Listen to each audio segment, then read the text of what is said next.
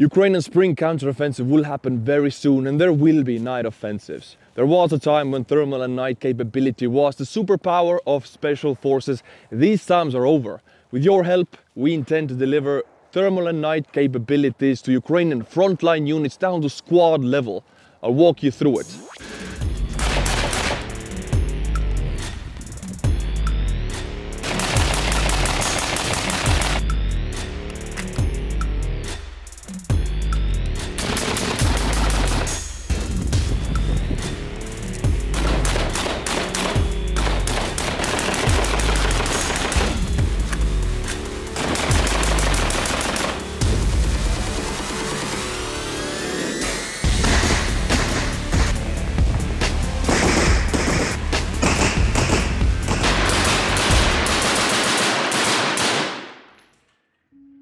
Have here an expert on night vision and thermal device. Can you please explain or open up to me the tactical side of these devices?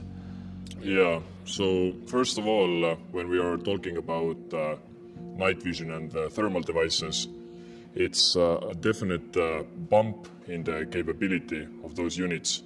So if we are talking about uh, warfare in the bigger spectrum, then have you heard about this uh, healthy living pyramid? That uh, on the lower base there's like everyday moving and eating healthy, and then spirituality and stuff like that. Have you heard about that? Yeah. So if we take the same thing to the military world, then uh, the building block is basically will to fight.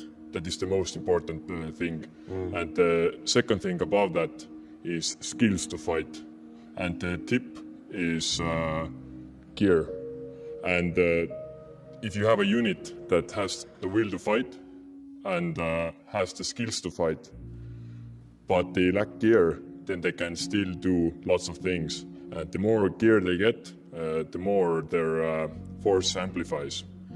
And uh, night vision and thermals are like a huge bump in the gear part. So basically, you can have a unit uh, that has uh, a big will to fight and has proper training, but sometimes they lack the modern gear that their enemy maybe has.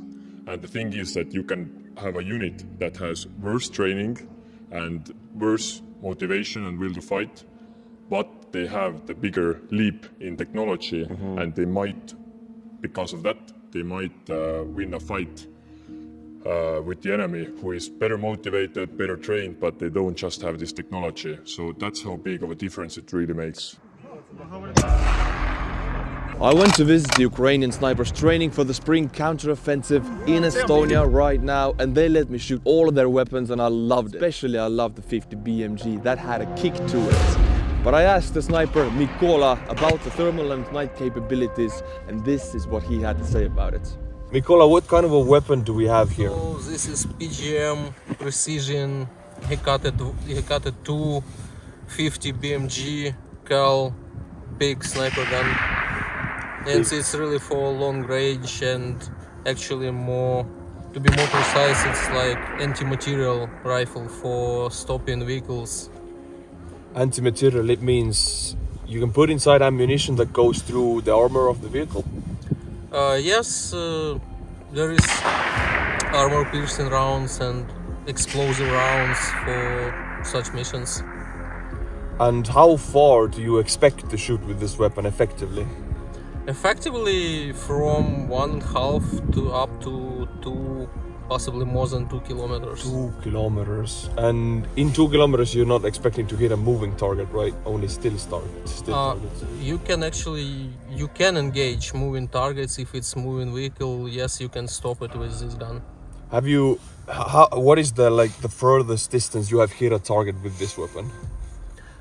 During this training, Yeah, uh, one kilometer. one kilometer. At, is- at this moment, and we are going every day a bit farther. so, being a sniper, right? A, a lot of the missions might happen during the nighttime. Um, yes, because enemy is sneaky and try to get closer to our positions at night usually. So, in the nighttime, you must have thermal vision or night vision. Uh, what about thermal vision, for example? Have you trained with thermal vision here? We starting this training, but unfortunately we don't have these thermal vision sights or attachments in Ukrainian army now. Okay, and this is actually where you, my viewers, can help. We're going to do a campaign later, and you can help to get these thermal visions. Thermal vision is very important in the night. Without it, you cannot really engage the enemy if you don't see them, right?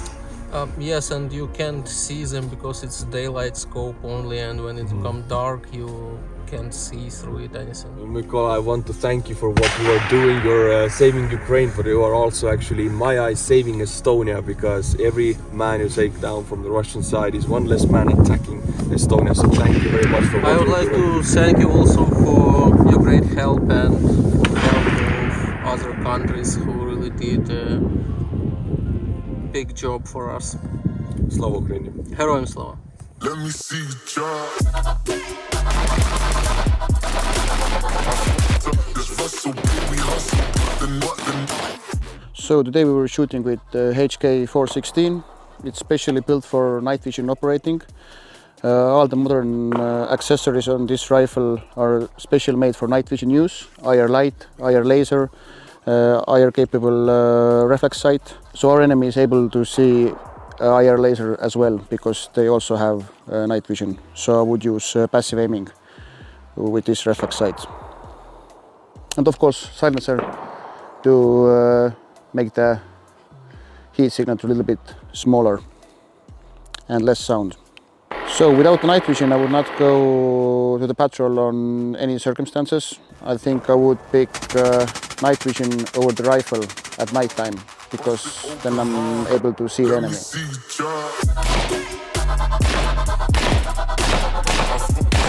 you just shot a weapon through a thermal sight. What do you say? Would Ukraine need such a capability? Yeah, we need to understand that Ukraine basically need to fight 24/7, like you know, and every time you need to go to the night missions, and the better equipment you have, the much more at- attack will be successful. So Ukraine need those. You know, this is, makes huge difference. So it, it gives you basically like eight to 12 hours more time, and this is the, one of the most important advantage to being effective, seeing you know and uh, seeing really where is the target and take it down. So this will give huge, huge difference for the special operation forces what we are basically want to help. I know you've been in contact with units about the spring counteroffensive that is about to happen. Have you had any information? Do are they lacking these capabilities? Definitely, the challenge is that basically that we are helping units which is getting like new, you know, armor from the west. But many times there's not enough other things, you know. So say, say, and we're talking about, as you know, we're talking about 60,000 soldiers potentially. Yes, This yeah. is now. So you can just, it is just insane big amount, what no big country could ever, ever do, and especially not Ukraine. They need it. They totally need it. There are new, new soldiers are basically which is trained in different countries, and these small things are making all of you know one success, other success, but one day peak success. You know. And you guys have seen we have done this convoy before. We joined Ragnar's convoy to Kiev. You have seen how the process goes. These cars were delivered straight to the units. The same thing will happen with these night and thermal visions through your convoy. They will be given straight to the units, right? Exactly, because we, we, we, we need to, we try to be as fast as we can. So because uh, spring attack will take months and months.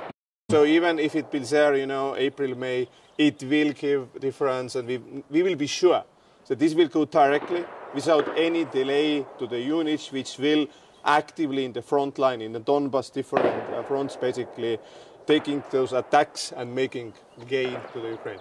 Okay, thank you, Ragnar. Thank you. Um, basically, here is one thing. 24 Brigade actually was so thankful for the help Artur Rehi and community has done. So they asked to send basically a special medal by 24 Brigade, especially for Artur. But not only that, this car, but all of the things that he has done to talking and informing all the world about Ukraine war.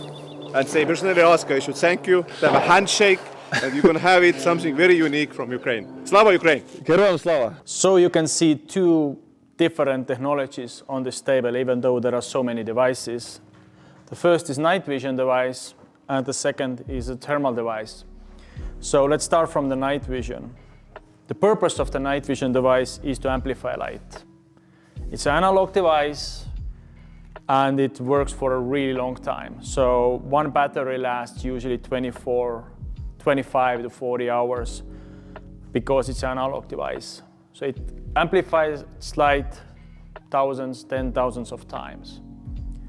Easy to use, lightweight, you can helmet mount it. There are also monocular editions, there are binocular editions. Thermal devices have a different technology. One is handheld. It's a bigger unit. It has 50 millimeter optics. Some of the devices have 35 millimeter optics.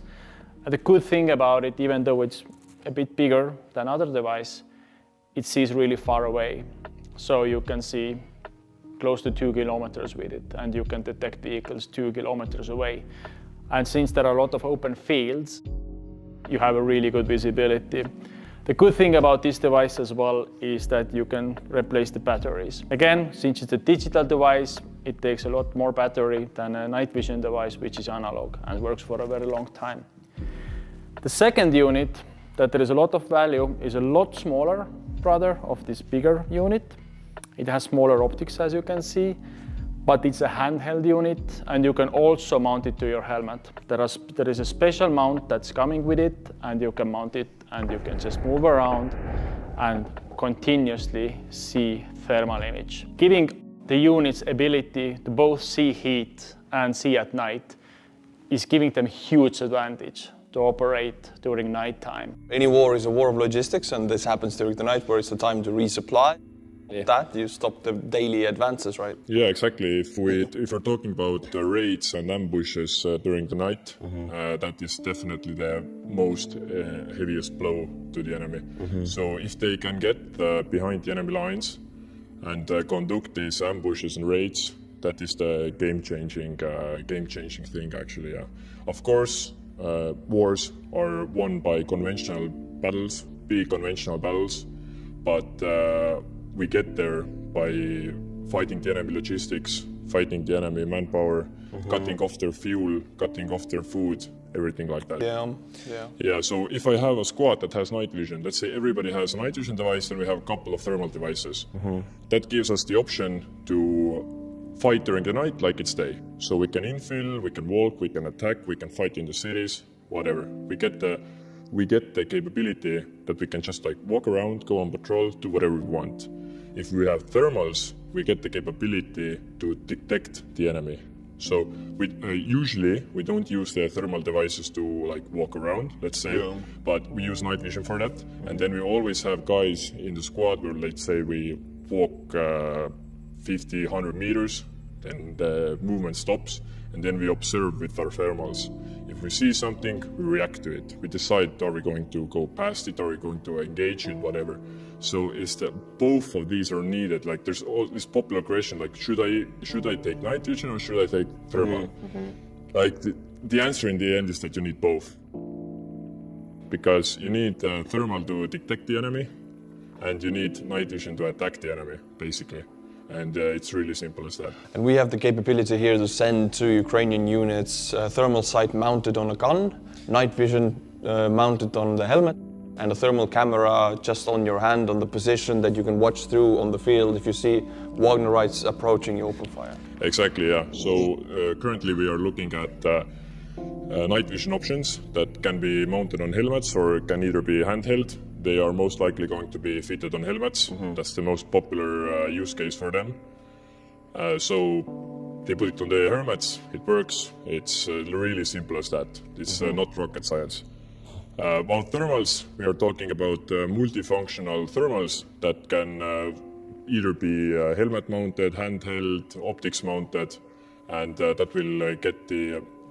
like, there's one thing you see the enemy, the other thing is uh, putting precise shots on the enemy, and this will give you that capability. You know your po- point of aim, you shoot, you take down the enemy. And uh, the other thing is that we're also looking at uh, long range observation right now. If we are talking about Estonia, let's say, then uh, we don't have a lot of these open fields, so we don't need to reach that far with our thermals. But uh, currently for this project, we have uh, picked out uh, also thermals that can reach over two kilometers, so that they can actually uh, observe over the fields. So you get this early warning uh, that uh, the enemies are the enemies are coming or where they are, and you can maneuver based on that basically. And you can prepare your defenses. Maybe you don't even have to fire a shot. You see the enemy two kilometers away.